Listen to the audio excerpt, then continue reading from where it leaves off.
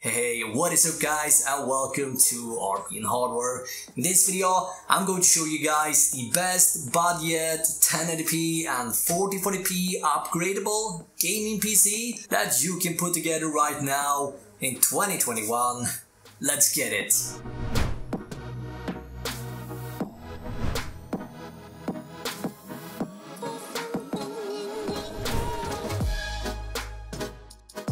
In today's video, I'm going to show you guys step by step how to put together this entire $750 gaming and streaming PC showing you guys all PC parts before booting up the system, testing out the gaming performance in both 1080 and 1440p resolution at high to ultra graphics in 18 of the most popular games right now. All PC components you see in the video are linked up in the video description down below.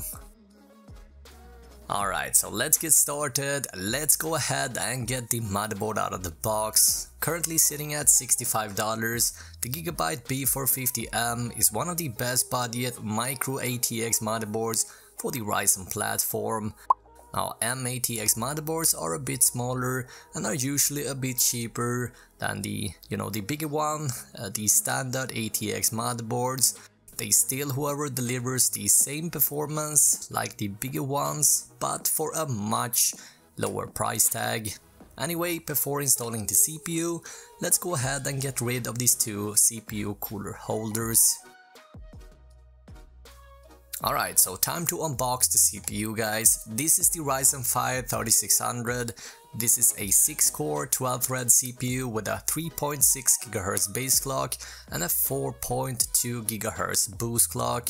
Now in today's build, we're gonna use the cooler that comes included in the box. You can obviously spend a few extra dollars on an aftermarket cooler, but yeah, throughout my testing, the included cooler has no problem cooling our CPU.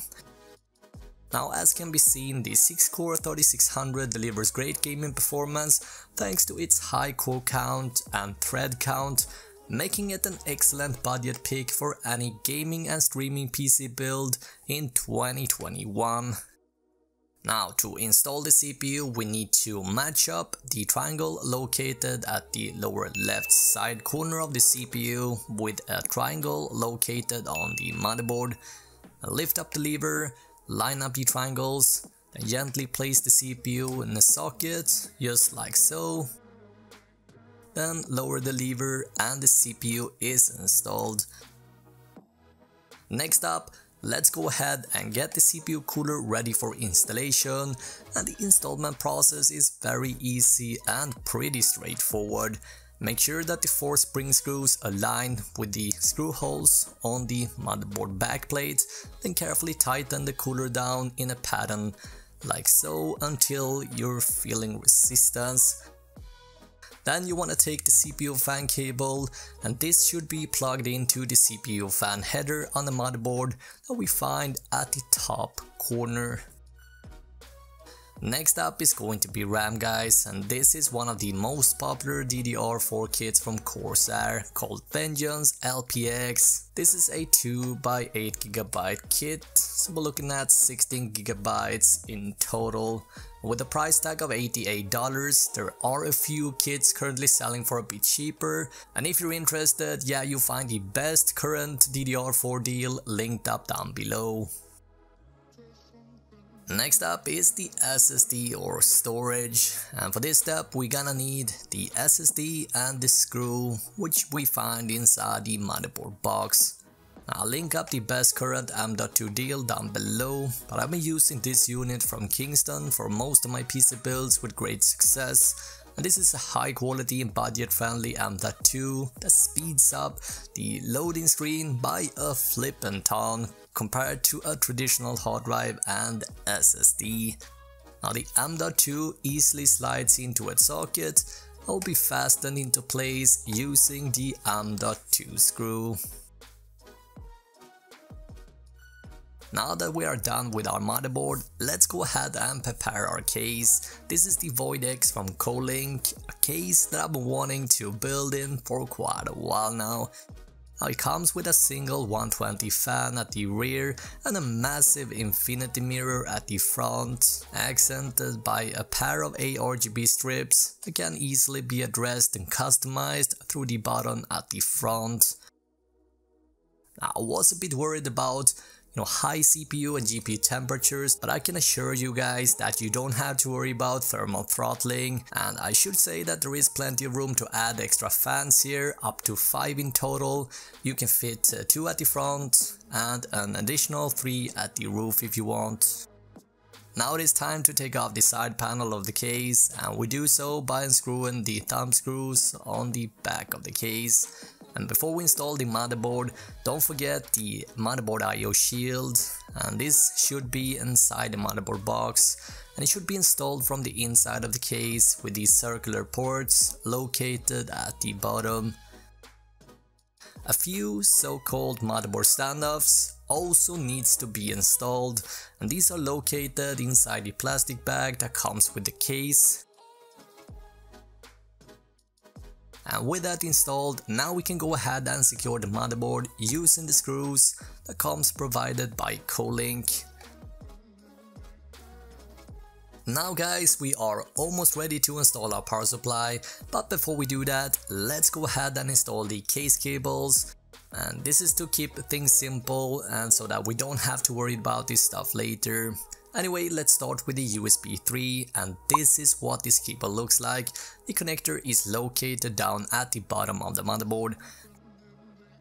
Moving on to the front audio and this cable is going to the left side corner. Next up we have this USB cable and this one goes to the bottom of the motherboard. And last but definitely not least we have the front panel connectors. These all goes to the right side corner. Alright, so grab the power supply, make sure that the fan is facing downwards, then put it in its slot and secure it. Now we're gonna do a few more cables guys before it is time to install our graphics. First up we got the 24 pin power and this one goes to the right side of the motherboard